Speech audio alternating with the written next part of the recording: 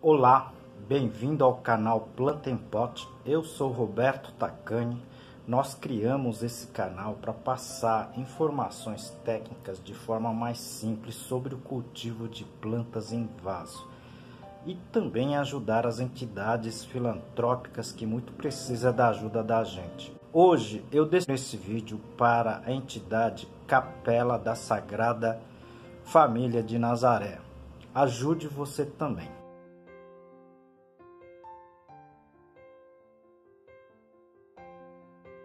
Peço a sua ajuda também para com esse canal.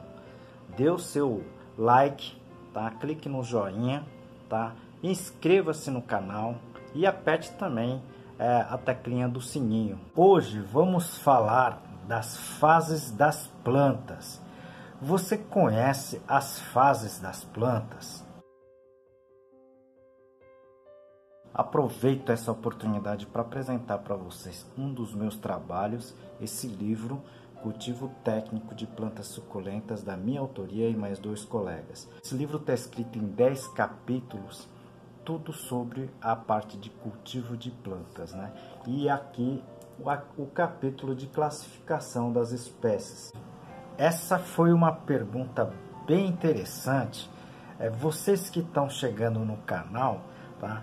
E que não estão entendendo alguma coisa que eu esteja passando aqui, por favor encaminhe as suas perguntas, as suas sugestões, porque isso ajuda muito esse canal. Com esta pergunta, a gente está fazendo esse vídeo para que todo mundo compreenda um pouquinho a mais do cultivo das plantas em vaso. Se vocês não assistiram um vídeo que eu já postei aqui falando da crista de galo e do girassol, por favor, vocês têm que assistir porque vocês vão entender um pouquinho melhor o que eu estou falando aqui, tá certo? Eu vou deixar aqui no link, tá certo? Se vocês clicarem em cima delas, vocês vão conseguir assistir é, esse vídeo. No mundo das plantas, existem os chamados plantas anuais e as plantas perenes. O que seriam isso? As plantas anuais, normalmente, elas da semente germinam, acaba virando uma planta, florescem e depois acabam senescendo, ou seja, acabam morrendo. Tá?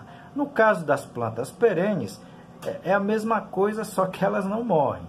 As plantas podem ter três fases. Fase 1 um seria o do crescimento pleno, ou, se, ou seja, da semente da, da plântula recém-germinada vai crescendo vegetativamente, tá certo? Até o seu ponto de maturação. Então, essa fase, fase vegetativa, tá certo? A gente vai comentar é, de cada esses itens.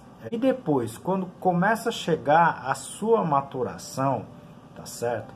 Então, existe a fase chamada a fase reprodutiva, tá certo? Então, ela vai começar a florescer. Nessa fase a gente chama de fase reprodutiva. E logo depois é a fase da frutificação. Eu estou dividindo em duas partes, subpartes, vocês vão entender o porquê disso. Essa fase nas plantas é, requerem uma quantidade e tipo de é, nutriente é, nem sempre igual. Vocês vão entender o porquê eu estou falando sobre isso, tá certo? Porque a pergunta que a maioria fez para mim foi o seguinte: por que, que existem muitos tipos de adubos com formulações de nutrientes diferenciados. Vocês estão entendendo? Por isso que eu fiz esse vídeo é, explicando as fases das plantas. Aproveito esse momento para apresentar um dos meus trabalhos, esse livro Cultivo Moderno de Orquídeas, da minha autoria e de mais dois colegas. Esse livro aqui está em 12 capítulos. Eu vou apresentar para vocês a parte tá, do controle de pragas. Então, na fase vegetativa ou de pleno crescimento das plantas, com desenvolvimento, com crescimento das folhas, das hastes em altura, nessa fase as plantas necessitam normalmente de maior concentração tá? de nitrogênio e fósforo. eu não estou excluindo nenhum dos outros elementos, só que o nitrogênio e fósforo e mais alguns outros, elas necessitam de maior quantidade nessa fase. E na fase seguinte, que é a fase 2 ou de maturação plena, tá certo? Quando há a floração, tá? E também a frutificação, existe maior necessidade pelas plantas de outros elementos. Nesta fase, as plantas vão começar a necessitar de maior concentração de potássio, tá certo? E de cálcio. Vocês entenderam a diferença que tem nas fases? O sistema profissional de produção, tá certo? Em estufas, né? O produtor sabe muito bem disso e em cada fase existe um tipo de adubo utilizado, ou seja, em cada fase eles utilizam, tá? é, diferentes concentrações de nutrientes, tá certo? Como eu já comentei aqui, na fase 1 seria o nitrogênio o fósforo numa quantidade maior. Na fase 2 seria o potássio e o cálcio. Por isso que existe diferentes é, concentrações, diferentes tipos de adubos no mercado. Mas vale relembrar, tá?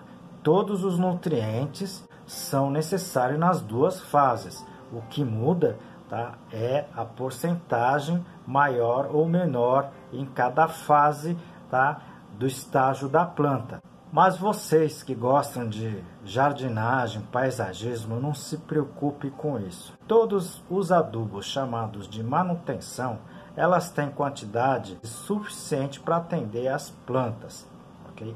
A não ser que você queira partir para produção comercial, aí sim, é, nesse caso você precisa se especializar um pouquinho mais sobre esses adubos, esses diferentes adubos. Professor, se eu utilizar o bocacho, o adubo orgânico, as alternativas que o senhor já comentou neste vídeo, ela vai resolver a minha situação? Normalmente, com esses adubos, você vai resolver a situação. O que existe na maioria dos casos é aquelas pessoas que ganham a planta e nunca adubam, né? Esse é o grande problema. Então, se vocês fizerem adubação mensalmente, naquelas dosagens que eu sempre recomendo aqui, você vai ter as suas plantas crescendo, você vai ter as suas plantas florescendo, você vai ter as suas plantas frutificando. Existe também as épocas do ano, tá certo? Que você pode adubar e não. Por exemplo, é, nas regiões do sul, nos invernos, a adubação pode não surtir o efeito, principalmente pelas baixas temperaturas. Também tem situações como chuvas. Muita chuva, se a sua planta fica numa área exposta, a chuva pode lavar todo o nutriente que você colocou, porventura colocou. Então elas vão necessitar de uma adubação é, extra, tá certo? Então tem muitos casos, tá certo? Que a gente vai comentar aqui nos vídeos, tá? Porque senão esse vídeo vai ficar muito longo. Vocês entenderam então por que, que eu falei primeiramente das fases para depois eu responder sobre as formulações da adubação, ok? Vocês que estão chegando agora no canal, aproveito para pedir para vocês assistirem tá? Os outros vídeos sobre adubação, sobre adubos, tá? Corretivos e outros nutrientes num playlist que eu tenho, eu vou deixar aqui no link. Pessoal, então, como essas perguntas, eu, eu peço para que vocês enviem as suas dúvidas e as suas sugestões. Isso é muito importante para o canal e aproveito também pedir a sua ajuda para a entidade Capela da Sagrada Família de Nazaré. Essa entidade recolhe alimentos, roupas, tá, donativos e, e repassam para os necessitados.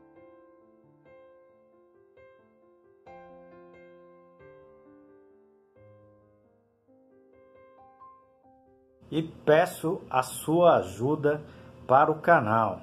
Nós já estamos com 60 vídeos com muitas informações se vocês puderem dar uma visualizada nos vídeos, seria muito interessante. Eu aguardo vocês no próximo vídeo. Muito obrigado.